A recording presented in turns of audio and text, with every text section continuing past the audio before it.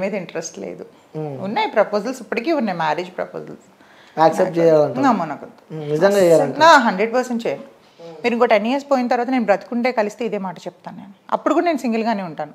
Okay news ఏమండి ఇప్పుడు చేసుకుని అంటారు మళ్ళీ తర్వాత చేసుకు. లేదండి అంటే చేసుకోవడంలోనే ఎట్లా ఉంటుంది అంటే మాటలు వేరు చేతులు వేరు. ఒక్కసారి అంటే ఫేస్ చేయడం ఎక్స్పీరియన్స్ వేరు. నేను ఫెడప్ అయిపోయాను. ఫెడప్ అయిపోయిన వాళ్ళని మనం మార్చడం కష్టం. ఆర్జీవి గారిని మార్చగలమా మనం? సేమ్ నేచర్ లైక్ మీ ఆర్జీబీని ఫాలో అవుతున్నావు అయితే. ఫాలో అవ్వట్లేదు నేను. అంటే ఒకరు ఒకదానికి స్ట్రాంగ్గా ఫిక్స్ అయితే అది ఎవరి తరం కూడా కాదు దేవుడి తరం కూడా కాదు మార్చడం. అవును. సో ఇంకోటి మీరు ఓకే అంటే ఒకటి చెప్దాం అనుకుంటున్నాను నేను. చెప్పండి. ఆ, మీరు ముందు చెప్పండి దాని తర్వాత. ఆ, ఓకేనే చెప్పండి. నేను ఏది చెప్పినా ఓకే అంటావు. సో నేను అడిగిన దానికి టూ యాడ్ చేస్తావు. నేను ఏం చెప్పినా దానికి టూ యాడ్ అది యాడ్ చేస్తానన్నదని మీరు అడిగే క్వశ్చన్ బట్టి ఉంటది. నార్మల్గా యాడ్ చేయాలి మీరు అంటున్నా. చేద్దాం. చేస్తారు కదా నిజంగా? చేయకుంటే? మీరు అడిగే దాన్ని బట్టి ఉంటది. ఏం చేయాలో వద్దా అని. అడగకూడదు.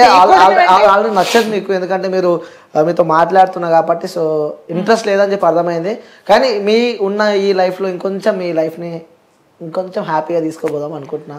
హ్యాపీగా నేను ఉన్న దాంట్లో ఇప్పుడు హ్యాపీగా ఉన్నాను నేను. ఇంకొక తోడు అయితే కూడా ఇంకొంచెం బాగుంటుంది. వద్దండి. అన్ని విధాలుగా డిస్టర్బెన్స్ క్రియేట్ అవుతాయి తప్ప అది తోడులా ఉండదు. తర్వాత మెంటల్ టార్చర్ లా ఉంటది అది. అందరు లాంటి వాడిని కాదు నేను.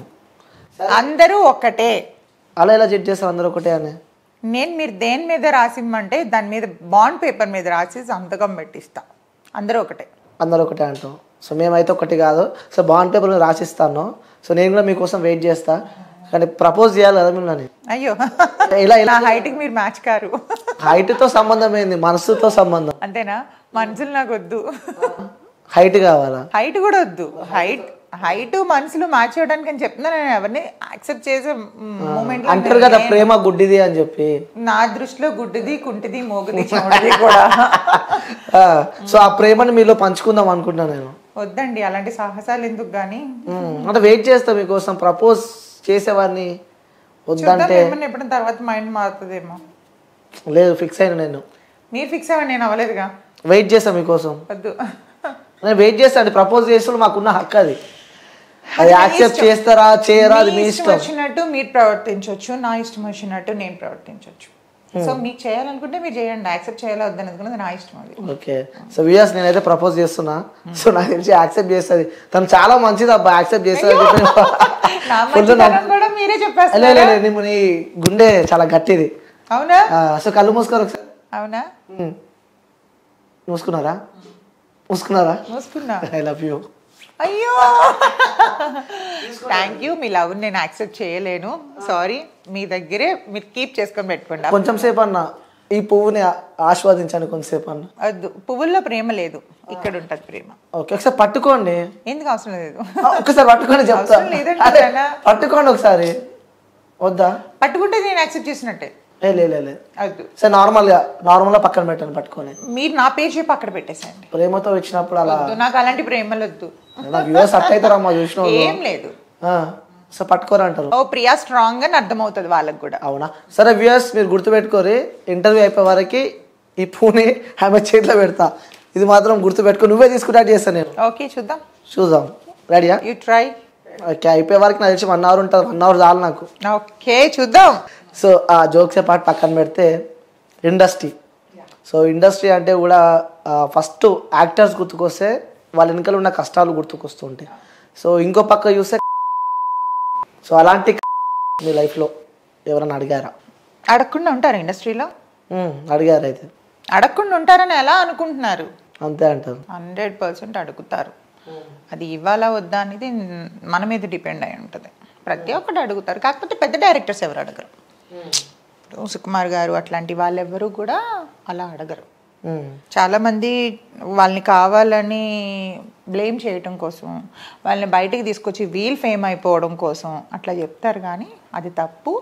కిందన ఉన్న వాళ్ళు మాత్రం గోకుడు గ్యారంటీగా ఉంటుంది. అంటే ఎలాంటి వాళ్ళ కింద ఉన్న వాళ్ళంటే అసిస్టెంట్ డైరెక్టర్లు కో డైరెక్టర్లు రైటర్స్ కోఆర్డినేటర్స్ ఇట్లాగా. కోఆర్డినేటర్స్ కూడా అంత ఉండదు. కోఆర్డినేటర్స్ వేరే రకం ఉంటుంది వాళ్ళది.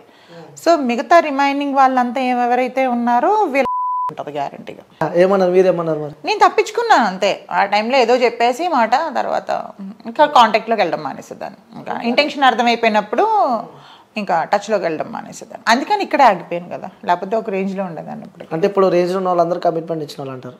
అది నేను ఎలా చెప్తాను? వాళ్ళకి వాళ్ళకి తెలుస్తుంది అది. అడుగుతారైతే అడుగుతారని ఖచ్చితంగా చెప్తున్నాను కదా. అడుగుతారు. ఖచ్చితంగా అడుగుతారు. అడగకుండా ఎవ్వరు ఉండరు. ఓకే. సో కమిట్మెంట్స్ ఇవ్వకుంటే అక్కడికి స్టాప్ ఇక. స్టాప్ అని ఏం లేదు. ఇచ్చే వాళ్ళని పెట్టుకుంటారు. ఇవ్వలేని వాళ్ళని పక్కకి నెడతారు. అలాంటి సందర్భాలు ఎదుర్కొన్నా అంటారు. ఉన్నాయి. ఉన్నాయి. సో ఒక ఉదాహరణకు షేర్ చేసుకోవచ్చు కదా ఒకటి? ఉదాహరణ అంటే పేర్లు వద్దులేండి. పేర్లు ఎందుకు కానీ ఉన్నాయని చెప్తున్నాను కదా. నేను ఒక ట్వంటీ మూవీస్ దగ్గర చేశాను ఇప్పటి వరకు ట్వంటీ ట్వంటీ ఫైవ్ చేశాను. బాగా నేను కొంచెం గుర్తింపు వచ్చింది మాత్రం where is the Venkatalakshmi Srinivasa Kalyanam. ఇవన్నీ పెద్ద పెద్ద హీరోస్తోనే చేశాను. ధ్రువ చేశాను చుట్టాల అబ్బాయి. అడుగుతూ ఉంటారు అడిగే అడిగే వాళ్ళు అడుగుతూ ఉంటారు. మనం నెట్టుకుంటూ రావటమే. ఇష్టం ఉంటే వెళ్ళటం ఇష్టం లేకపోతే కామ్గా అవాయిడ్ చేసుకుంటూ రావటం. అంత అలా చాలా మంది ఉన్నారంటూ. ఉన్నారు.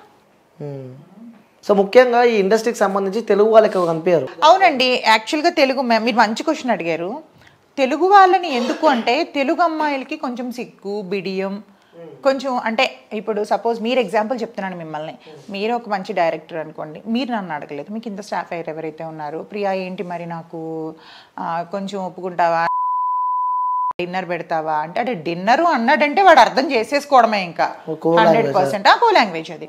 అలాంటప్పుడు అంతవరకు వచ్చినాడు. ఇప్పుడు నేను అనుకోండి మనం ఆంధ్రాలో పుట్టి ఐ మీన్ హైదరాబాద్ తెలంగాణ ఆంధ్ర అదంతా కూడా మనకి తెలుగు కాబట్టి ఇక్కడ కల్చర్ వరకు అంటే కొంచెం సిగ్గుపడతాం.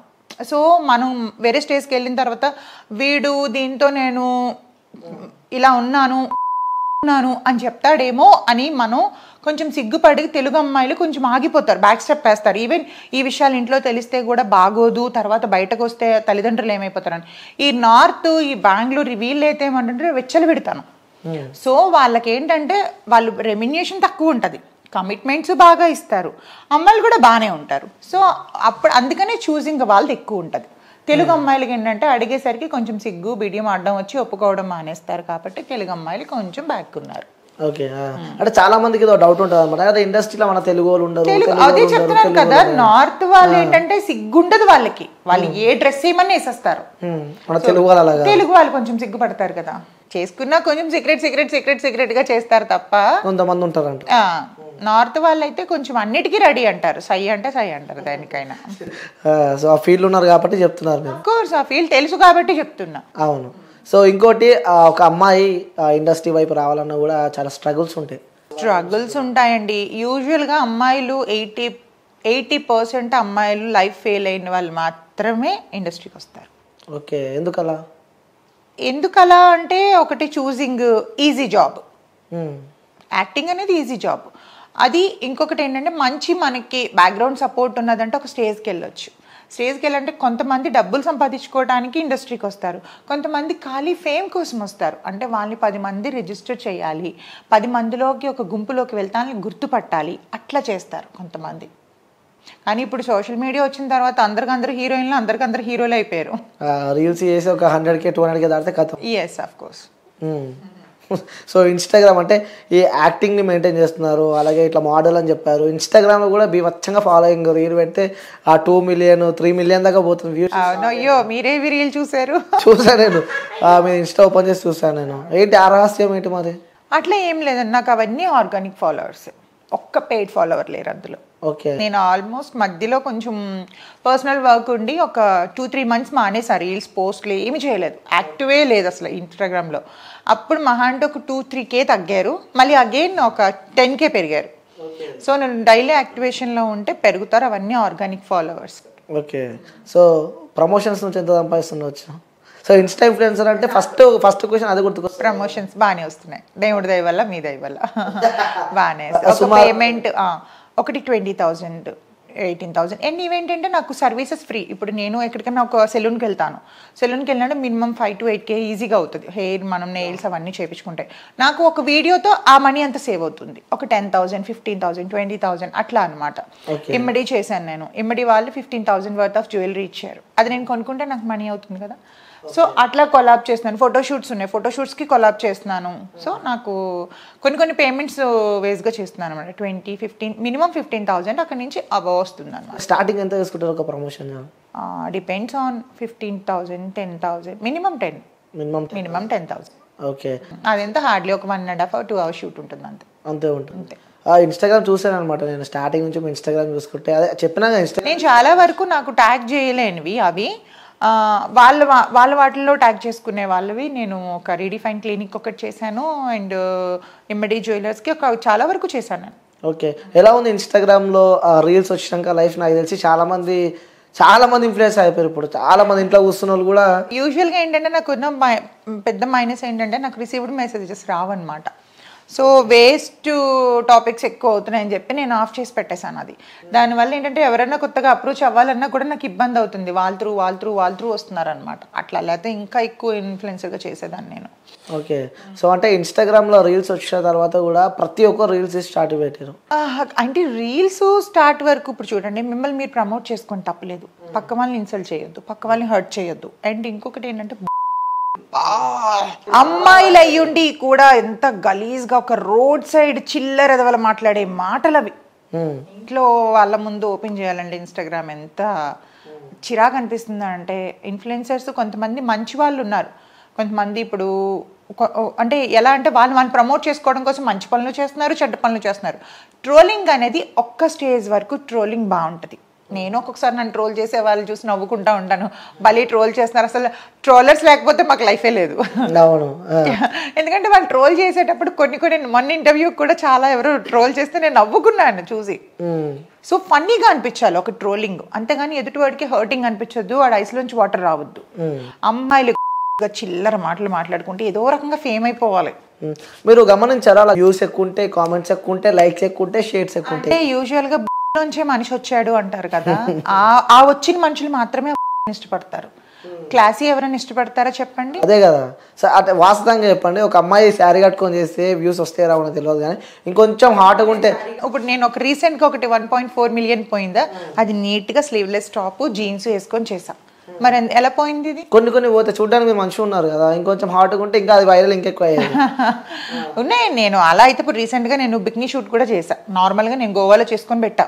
నాకు నచ్చింది. అక్కడ ఇక్కడ వల్గారిటీ లేదు. జస్ట్ లైక్ ఒక క్రాప్ టాప్ లా ఉంది. అండ్ ఒక కట్ పైన ఉంది. వేసుకున్నాను. నాకు నచ్చింది. నాకు వల్గర్గా అనిపించలేదు. నేను పెట్టుకున్నాను. అంతే. వల్గర్గా ఉంటే ఫస్ట్ ఆఫ్ ఆల్ ఇంట్లో ఒప్పుకోరు కదా. సో దానికి ఇష్టం వచ్చినట్టు మాట్లాడేసి ఇష్టం వచ్చినట్టు చేసి అనుకునే వాళ్ళు అనుకుంటారండి. చెవిత విని చెవిత వదిలేయాలి. అవును. సో ఫ్యామిలీ సపోర్ట్ ఏ విధంగా ఉండే ఇండస్ట్రీ వైపు వస్తున్నాం అంటే అందరు భయపడుతూ ఉంటారు. ఆ, first లో అన్నయ్య వద్దన్నాడు. మా అన్నయ్య నాకు అన్నీ ఆ. మా బ్రదర్ లేడు ఇప్పుడు. ఓ ఏమైనా హెల్త్ పాడైపోయింది. అదే ఇప్పుడు కాదు ఒక ఎయిట్ ఇయర్స్ అవుతుందండి. సో తన సపోర్టు తర్వాత ఇప్పుడు నేనే పెద్ద ఇంటికి. ఇంటికి పెద్ద. ఎంతమంది ఉంటారు ఇంట్లో? మా ఫాదర్ ఉన్నారు మా నీస్ మా అంతా మేమంతా ఫ్యామిలీ ఉమ్మడి కుటుంబమే. ఓ సూపర్. ఎలా ఉంటుంది ఇంట్లో? ఇంట్లో వాళ్ళతో? బాగుంటుందండి. నాకు ఫ్యామిలీ లైఫ్ అంటే చాలా ఇష్టం. ఓకే. ఎఫెక్షన్ ఎక్కువ మదర్తో ఎక్కువ ఉంటుందా ఫాదర్ మదర్ లేరు. ఓ. ఫాదర్ ఉన్నారు. ఆ ఫాదర్తో తక్కువ. నాకు ఇంట్లో మా అన్న పిల్లలతో వాళ్ళతో ఎక్కువ. ఓకే. సో మిస్ అవుతుంటారా మదర్ని? మిస్ అవుతానంటే చాలా ఇయర్స్ అవుతుంది కదా. కొంచెం ఒక్కొక్కసారి అనిపిస్తుంది ఉంటే బాగుంటుంది అన్ని చెప్పుకోవడానికి అని. సో నాన్నతో ఉంటా అంటారు. నేను అనలేదు. మరి అంతే కదా. ఇది కూడా అడ్వాంటేజ్ తీసుకొని చాలా మంది కొంచెం "ఆ, నీకు పేరెంట్స్ లేరు మీరు మీ ఫాదర్ ఉన్నా కూడా అన్ని చెప్పుకోలేవు కదా అట్లా కూడా అన్నారు కానీ అందుకే అంత స్ట్రాంగ్గా చెప్తున్నారా? అర్థమవుతుంది. ఫ్యామిలీకి నేనే హెడ్ కాబట్టి ఆటోమేటిక్గా స్ట్రాంగ్ ఉంటారు. మనం ఎవరి మీద ఎవరైతే డిపెండేషన్ ఉంటుందో అంటే ఇంటికి మనం పెద్దగా ఉండి పెద్ద దిక్కుగా చూసుకునేటప్పుడు ఇట్లాంటి వాటిపైకి మనసు పోదు. ఆడుతూ పాడుతున్న ఏజ్లో అనుకోండి అది మనకి వెళ్తుంది. ఒక మీకు రెస్పాన్సిబిలిటీ ఉండేటప్పుడు మాత్రం ఎప్పుడు కూడా టైం పాస్ చేయడానికి చూడరు. ఓకే. సో మీరు ఒక యాక్టింగ్ ప్రొఫెషన్లో ఉన్నారు కాబట్టి సో మీ ఇన్స్టా ఇన్ఫ్లుయెన్ ఇన్స్టా ఇన్ఫ్లుయెన్సర్ కూడా. సో మీకు ఇష్టమైన యూట్యూబర్ ఎవరు? నాకు అంతా ఏం లేదు. యూట్యూబర్ ఇష్టపడాలి ఏం లేదు. నా ఇన్స్పిరేషన్ మాత్రం చిరంజీవి గారు.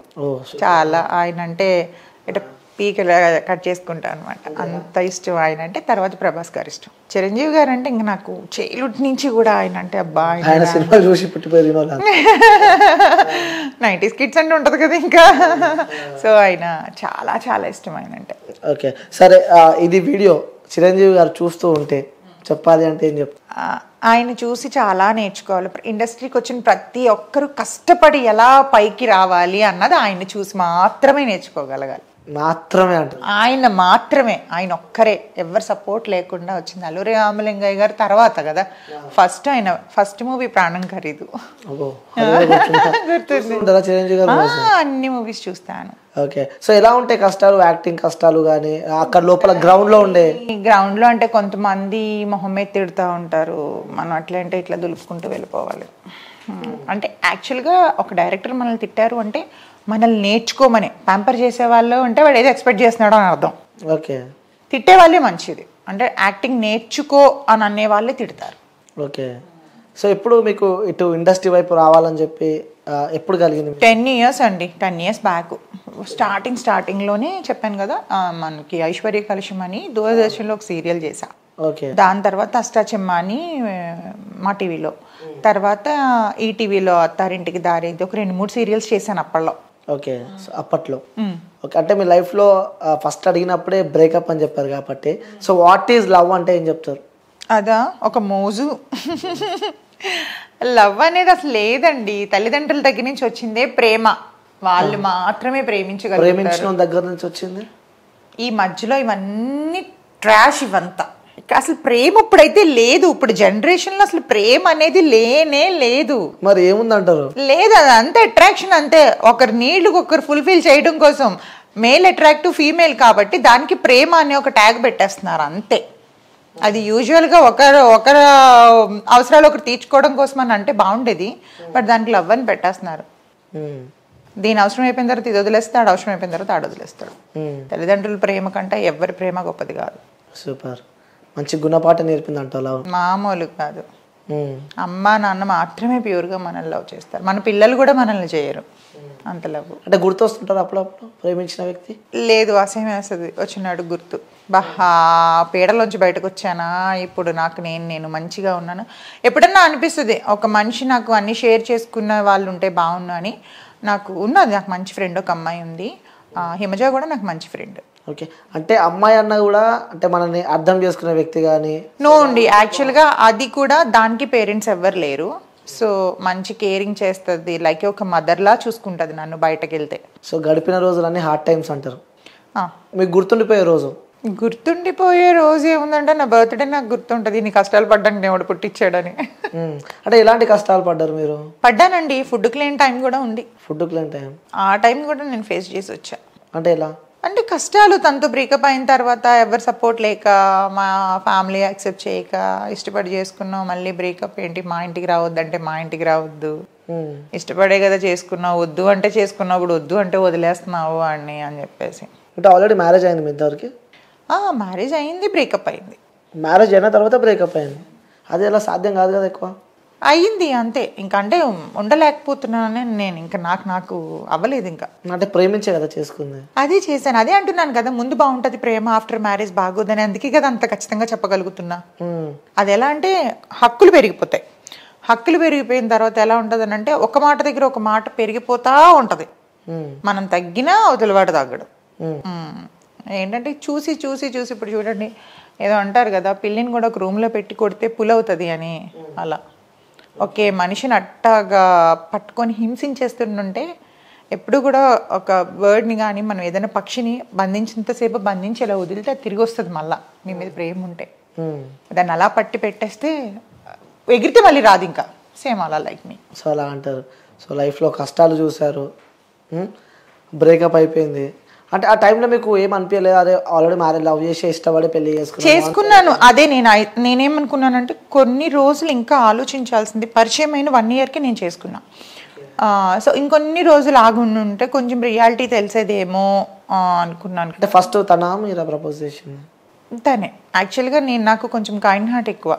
మ్మ్. ఆ, ఎవరైనా నా ముందు బాధపడితే నేను అసలు చూడలేను. అంటే నాకు కూడా చూసుకోకుండా వాళ్ళకి హెల్ప్ చేస్తాను అనమాట అది ఇష్టపడ్డాడు తను. ఇష్టపడి ఇష్టపడి నన్ను ముంచాడు. ముంచే అంత సంతోషంగా చెప్తున్నారండి. ఎంత గట్టిగా ఎదుర్కొంటే ఇంత గట్టిగా మాట్లాడుతున్నారు. గట్టిగా అని కాదు కానీ మెంటల్గా స్ట్రాంగ్ అయిపోయాను. ఇంకా ఆ- హార్డ్ టైమ్స్ ఎట్లుండే అంటే మీరు ఇద్దరు విడిపోయిన తర్వాత స్టార్టింగ్ డేస్ ఎట్లుండే? స్టార్టింగ్ డేస్ నుండే లిటరల్గా భయం భయంగా బతికాను. ఏం చేసి వస్తాడు అని. భయపడుతూ బతికాను అనమాట ఫస్ట్లో. తర్వాత తనకి మళ్ళీ ఇంకో మ్యారేజ్ చేసేసారు. అప్పుడు హ్యాపీ అన్మయా అనుకున్నా. ఇంకో మ్యారేజ్ చేసేసుకున్నాడు ఓకే అంటే ప్రజెంట్ ఉన్న లవ్ అమ్మాయిల లవ్ ట్రూ ఉందంటారు? ఇక్కడ అబ్బాయిల లవ్ ట్రూ ఉంది ఎవరిలోనే లేదు. ఎవరిలోనే లేరు ఇది అవసరాలకి చేస్తుంది ఆడ అవకాశానికి చేస్తున్నాడు. బోత్ రెండింటికి ఆన్సర్ చెప్పేస్తారు అంటే జెన్యున్ లవ్ నీడ్స్ అంటే ఇప్పుడు అమ్మాయికి ఎవరైతే ఉన్నారో దానికి మనీ కావాలి. వీడికి దాని ఈక్వల్ సెట్ అంటారు. అంతే ఈక్వల్ ఉమ్, ఆ సోషల్ మీడియా వచ్చిన తర్వాత ఇంకా వర్స్ట్ అయిపోయారు అమ్మాయిలు. ఓకే అబ్బాయిలు? అబ్బాయిలు ఇంకా అబ్బాయిలు ఏం చేసినా చెల్లుతుంది కదా అది చిన్నప్పటి నుంచి నాగరికత నుంచి వస్తుంది కదా. ఎవడండి ఈడు మగోడే ఈడు మగోడే. మగోడే ఆడవాళ్ళు ఏది చేసినా అంటే అలా అని కొంతమంది అమ్మాయిలు రివెంజ్ పెట్టుకొని కూడా ఇంకా ఇలా తయారైపోయారు. సో అలా గడిచిందంటారు లైఫ్ అంతే. Hmm. సో మీకు ఇన్స్టాలో చాలామంది ఫాలోవర్స్ ఉన్నారు. సో సీరియల్ పరంగా చూసిన మూవీ పరంగా చూసిన అభిమానించే వ్యక్తులు అంటూ మీకు కొంతమంది ఉంటారు. సో వాళ్ళకి చెప్పాలంటే ఏం చెప్తారు? అంటే ఎలా? ఎవరికి? థ్యాంక్ఫుల్ చెప్పాలంటే మేము అభిమానించే వ్యక్తులు లైక్ ఫాలోవర్స్ ఉంటారు ఇన్స్టాగ్రామ్లో అఫ్ కోర్స్ వాళ్ళు ఫాలో చేసి మంచి కామెంట్స్ పెడితేనే కదా నాకు ఇంకా చేయాలి అన్న ఆలోచన వస్తుంది మంచి మంచి వీడియోస్ అన్నీ అండ్ తొందరలో యూట్యూబ్ ఛానల్ కూడా స్టార్ట్ చేద్దామని చూస్తున్నాను మంచి కంటెంట్తో ఓ super congratulations thank you so much okay అంటే ఇన్స్టాగ్రామ్లో మీరు రీల్స్ పెడుతూ ఉంటారు ఆ టైంలో కామెంట్స్ వస్తూ ఉంటాయి. చాలా మంది అంటే కొంచెం నాకు హ్యాపీగా అనిపించే కామెంట్స్ ఉంటుంటాయి కొన్ని నెగిటివ్ ఎక్కువ వస్తుంటాయి? పాజిటివ్ ఎక్కువ వస్తాయా? పాజిటివ్ ఈ మధ్య పాజిటివ్ ఎక్కువే వస్తున్నాయి. నెగిటివ్ వచ్చిన కామెంట్ ఏదైనా గుర్తుందా మీకు? అమ్మో చాలా వర్స్ట్గా పెట్టే వాళ్ళు ఉన్నారు. అంటే- లైక్ ఉదాహరణకు ఒకసారి. ఉదాహరణ అంటే ఏమో నీ ఇంట్లో వాళ్ళు ఏమనరా? నువ్వు అది ఇదని చెప్పి ఎవడెవడో నోటుకొచ్చినట్టు మాట్లాడుతూ ఉంటాడు. కొంతమంది వల్గర్గా మాట్లాడతారు. కింద కామెంట్ బాక్స్లో కొన్ని డిలీట్ చేసేస్తూ ఉంటా. సో అంటే మీరు ప్రొఫెషన్ ఉన్నప్పుడు కూడా వాళ్ళ నెంబర్స్ అంటూ కూడా ట్రాన్స్ఫర్ చాలా మంది అడుగుతారు. నేను ఇవ్వను. ఓకే నా ఇన్స్టాగ్రామ్ ఒక అబ్బాయి మెయింటైన్ చేసేవాడు ఇంతకు ముందు. ఎవరైనా మాట్లాడితే తనతో మాట్లాడమనే దాన్ని. అంటే అప్రోచ్ అవ్వాలి అనుకుంటే వాట్ పర్పస్ ఫస్ట్ మీతో మాట్లాడాలంటే రిగార్డింగ్ అని అడుగుతా. అడిగినాక తన నెంబర్ పెడతాను. ఈవెన్ లేకపోతే మా మేనల్లుడి నెంబర్ పెడతా. మా మేనల్లుడి నెంబర్ పెడితే తను మాట్లాడతాడు. కానీ నా నెంబర్ ఎవరికి షేర్ చేయను తొందరగా. అంటే ఎప్పుడైనా వచ్చిన ర్యాండమ్ కాల్స్ కానీ వస్తూ ఉంటాయండి. ర్యాండమ్ కాల్స్ ఎందుకు రావు? ఇన్స్టాగ్రామ్లో నెంబర్ ఎక్కడ నాకు దొరికే ఛాన్సే లేదు కదా నాది. పోనీ మీరు ట్రై చేయండి నా నెంబర్ కోసం. ఇన్స్టాగ్రామ్లో దొరకదు. మెయిల్ కూడా. మనసు ఉంటే మార్గం ఉంటుంది అంటారు కదా. అది ఎవరొకరిని పట్టుకోవాలి ఇప్పుడు. ఎందుకంటే సినిమా ఇండస్ట్రీ అనేది చాలా పెద్ద ప్రపంచం. అందులో ఎవరిని అడిగినా చాలా మంది మేనేజర్స్ దగ్గర ఉంటుంది కో డైరెక్టర్ అసిస్టెంట్స్ దగ్గర దగ్గర ఉంటుంది. నేను చేసే మూవీ టీంలో ఎవరిని పట్టుకున్నా నా నెంబర్ ఉంటుంది. కాస్ట్యూమర్ దగ్గర కూడా మా నెంబర్ ఉంటుంది. ఉంటది. సో అలా అలా పట్టుకోవచ్చు. అలానే పట్టుకున్నాడు ఇట్లా అలా ఏం కాదు. అదే- అదే అందుకే అడుగుతున్నా వచ్చాయి ఎప్పుడైనా ర్యాండమ్ కాల్స్ కానీ. ర్యాండమ్ కాల్స్ రాలేదు తక్కువ. చాలా తక్కువ. అయినా ఎక్కువ నేను డిస్కస్ చేయను. అంటే నేను ఒక అంటే మీకు సంబంధించి ఒక న్యూస్ విన్నా నేను. ఏమని? అన్నోన్ నెంబర్ కాల్ చేశారు మీకు అని చెప్పి కాల్ చేశారు అని చెప్పి కూడా నేను వచ్చింది. అది ఇన్స్టాగ్రామ్లో కదా? ఉమ్, అదే ఇన్స్టాగ్రామ్ కాల్ చూడడానికి ఎంత మాసి ఉన్నాడంటే అసలు తెలుస్తున్నాడు. చూసారా? లో ప్రొఫైల్ అని. అంటే ఫేస్ కట్ చేసి ఫుల్ బాడీ మాట్లాడుతున్నాడు. ఒక్కసారి అనుకుంటా ఫేస్ చూసా. వాడు ఎంత ధైర్యంగా చేస్తున్నాడంటే కనీసం ఒక సైబర్ క్రైమ్ అంటే అప్పుడు నాకు అర్థమైంది వాడు అంత ధైర్యంగా కాల్ చేస్తున్నాడంటే ఎడ్యుకేటెడ్ కాదు. సో వాడికి ఒక సైబర్ క్రైమ్ అనేది ఒకటి ఉందని కూడా వాడికి తెలియదు అందుకని వాడు అంత ధైర్యంగా కాల్ చేశాడు. ఇప్పుడు ఆ మధ్య మనం చూసినవే కదా ఏవేవో అలవాట్లు ఉంటా ఉంటాయి. అది వీడియో కాల్ అని ఎలా తెలుస్తుంది? ఒకటి సపోజ్ ఎవరైనా చేశారనుకోండి అది వస్తుందని ఎవరికైనా తెలుస్తుంది. ఆన్ కెమెరా స్టార్ట్ చేస్తేనే కదా. అంటే డైరెక్ట్ వీడియో కాల్ ఒక్కసారి నేను ఆన్ చేసిన తర్వాత రెండోసారి రికార్డింగ్ చేసి సైబర్ క్రైమ్లో కంప్లైంట్ చేశాను నేను. కంప్లైంట్ చేశాను ఇట్లా ఇట్లా అంటే మళ్ళీ కాల్ వస్తే చెప్పండి అకౌంట్ నాకు పంపించండి అని చెప్పేసి సైబర్ క్రైమ్ స్టోరీ కూడా పెట్టాను నేను. అవును ఇన్స్టాగ్రామ్లో. ఓకే మరి సెట్ అయిపోయింది అది? సెట్ అయింది. మళ్ళీ వాడు చేయలేదు. వాడే బ్లాక్ పెట్టేశాడు. ఎప్పుడైతే కంప్లైంట్ పెట్టానో వాడు ఎవరితో చదివించుకున్నట్టున్నాడు మేబీ ఓకే మీరు అతనికి పెట్టారా? నేను స్టోరీ పెడతాను కదా స్టోరీ చూశాడు.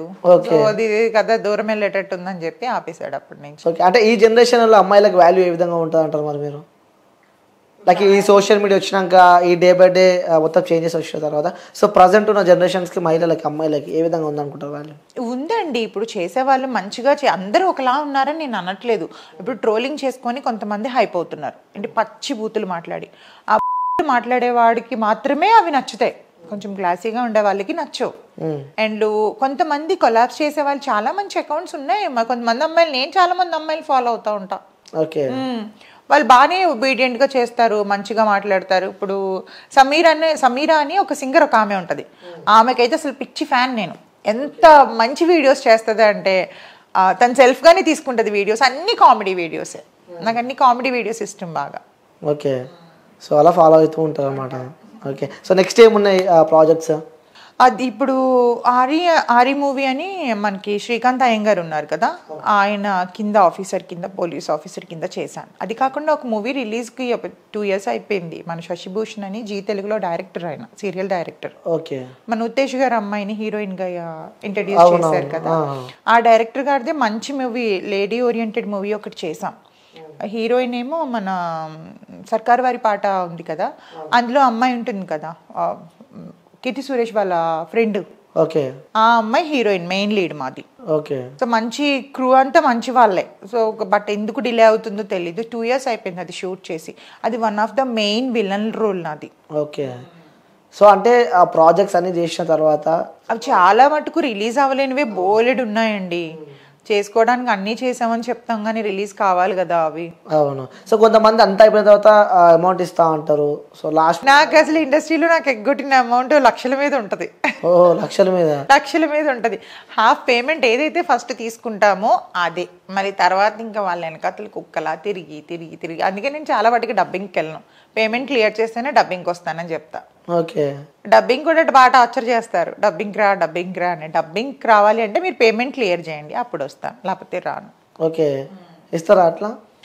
ఇస్తారా అంటే ఇస్తాడు. అందులో సగం ఇస్తాడు. డబ్బింగ్ ఎందుకంటే నా వాయిసే సెట్ అవుతుంది కాబట్టి ఆ క్యారెక్టర్కి. అవును. మోస్ట్లీ విలన్ రోల్స్ ఎక్కువ చేస్తూ ఉంటారు కదా? విల్లల్ నెగిటివ్. కానీ వ్యాంప్ రోల్స్ వస్తాయి కానీ చాలా తక్కువ. ఓకే. సో తీసుకోండి ఫ్లవర్. వద్దు. అయిపోయింది కదా? ఆ? ఆ? లే లే నార్మల్గా తీసుకోండి. అయిపోయింది ఇంటర్వ్యూ ఇంకేమైనా చెప్పాలనుకుంటున్నారా? ఇంకేం లేదు మీరు అడిగితే చెప్తాను. ఓకే అంటే అయిపోయింది కెమెరాస్ కూడా ఆఫ్ చేసిరాలు ఓకే. తీసుకోండి తీసుకో కెమెరాస్ ఆఫ్ చేసిన ఏ రియల్ కెమెరాస్ ఆఫ్ నేను అబద్ధాలు ఎందుకు చెప్తాను? ఎందుకులేండి వద్దు. తీసుకోండి. ఫ్లవర్ మాత్రం నేను ఎవరితో అది చెవులోకి కెమెరాస్ ఆఫ్ చేసి భయం. ఆఫ్ ఉంది కదా మరి తీసుకోవడానికి ఎందుకు? వద్దు అందుకే ఆఫ్ అయిన తర్వాత ఎందుకు తీసుకోవడం వద్దు? అంటే ఇప్పటిదాకా ఆన్ కెమెరా ఉండే కదా సో మళ్ళీ మీరు ఏమైనా అనుకుంటున్నారు? ఏం లేదు. అది ఒకటే మాట మనది ఒక మాటకి స్టిక్ అయితే అది మళ్ళీ మళ్ళీ లూజ్ అవుతుంది. నన్ను యాక్సెప్ట్ చేస్తున్నట్ట రిజెక్ట్ చేస్తున్నట్ట చెప్పలేరు అది న్యూట్రల్గా పెట్టా. ఓకే అంటే ఎప్పుడైనా మీ దగ్గర నుంచి కాల్ రావచ్చు నాకు. ఎప్పుడైనా మీ దగ్గర నుంచి కాల్ రావచ్చు నాకు అంటున్నా. మేబీ వస్తుందా? ఒక hope తో వెయిట్ చేస్తే మంచిదేగా. ఇన్ని జన్మలనే వెయిట్ చేస్తా. అయ్యో! ఇలా ఎంతమందికి చెప్పావు ఇప్పుడు? ఏ, లే, లే, నిజంగా. ఎవరికి చెప్పలే. ఫస్ట్ టైం కూడా నేను ఫ్లవర్ ఇస్తుంటే కూడా తీసుకుంటలేరు మేము లేదు. ప్లాస్టిక్ ఫ్లవర్స్ నాకు నచ్చవు. అంటే అంటే ఆల్మోస్ట్ ఇష్టమైనట్టు అర్థమైపోయింది. ఆన్సర్ తన నోట్ల నుంచి వచ్చింది. ప్లాస్టిక్ ఫ్లవర్ కాబట్టి నేను తీసుకుంటలేను. అంటే ఒరిజినల్ ఫ్లవర్ ఉంటే తీసుకునేది. ఇంతకీ ఆ ఫ్లవర్ నేమ్ ఏంటో తెలుసా మీకు? తెలుసు. ఏంటి? చెప్పాను. అది తెలీదని చెప్పాలి అప్పుడు సరే మీరు చెప్పండి చూద్దాం. దాన్ని ఇంగ్లీష్లో ఏమంటారో తెలీదు. తెలుగులో నూరు వరాల చెట్టు అని అంటారు. తెలియదు. నూరు వరాల పువ్వు అంటారు. అది దేవుళ్ళకి శివుడికి బాగా ఇష్టం అంటారు. అందుకే నా పార్వతికి ఇస్తున్నా. నేను అయితే? దేవుని పేరు చెప్పేసి మేము కన్వర్టెడ్ ఒక కన్వర్ట్ మరి అది చాలా మంది అంటారు నాకు ఇన్స్టాగ్రామ్లో అది కూడా మీరు చూసారు లేదు కామెంట్స్ నువ్వు హిందీ ఎట్లా చేస్తావు? అది ప్రొఫెషన్ అది. మరి ఇంకా అదే చెప్పాలి. అంటే నేను ఎందుకు ఆన్సర్ చెప్పాలి? నాకు నచ్చింది నేను చేసుకుంటూ వెళ్తున్నా. ఓకే. ఇంకోటి లైఫ్లో వీళ్ళకి నేను రుణపడి ఉన్నా. అంటే వాళ్ళకి థ్యాంక్ యూ చెప్పాలి. అంటే అలాంటి పర్సన్స్ ఎవరైనా మీ లైఫ్లో ఉన్నా నేను ఒక్క పర్సన్కి అయితే బాగా రుణపడి ఉన్నాను ఆయన సపోర్ట్ నాకు ఎప్పటికీ ఉంది చేస్తూనే ఉన్నారు. లైఫ్లో ఎవరికన్నా మళ్ళీ నెక్స్ట్ జన్మ అంటూ ఉంటే ఆయనకి రుణపడి ఉండిపోతా. సో ఎవరు పేరు చెప్పాలి కదా? పేర్లు ఎందుకు? ఒక వెల్విషర్ నాకు ఒకరు ఉన్నారు. సో ఆయనకి నేను రుణపడి ఉన్నా. ఓకే సో ఇంకోటి నెక్స్ట్ ఏదన్నా పెద్ద అంటే లైక్ బిగ్ బాస్ అలాంటివి ఏమన్నా ఆలోచన ఉన్నాయా వస్తే వెళ్తా. వెళ్తారు. సో ఇంతకుముందుకి ఏమన్నా పిలుస్తారంటారా నన్ను? చెప్పలేం. మీకెంత మర్చిపోదు నన్ను.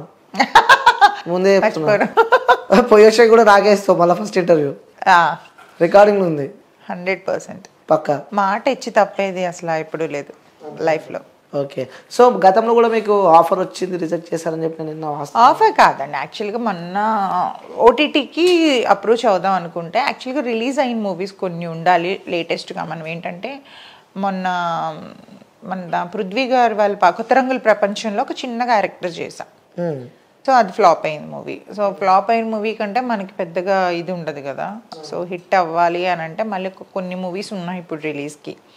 అవి చేస్తే కొన్ని కొన్ని నా నిర్లక్ష్యం వల్ల కూడా కొన్ని అంటే చూడొచ్చు అంటారు. మీ ఫాలోవర్స్ అయితే బిగ్ బాస్లో చూసే అవకాశాలు అయితే ఉన్నాయి అంటారు ఉన్నాయి అని అనుకుంటున్నాను నేను. పైన ఉన్న దేవుడి ఓకే. సో బిగ్ బాస్ పోవాలని చెప్పి మనస్ఫూర్తిగా కోరుకుంటున్నా. వచ్చినాక నా లవ్ కూడా యాక్సెప్ట్ చేయాలని చెప్పి కూడా మనసు కోరుకుంటున్నా. సో థ్యాంక్ యూ అండి. Thank you so much so much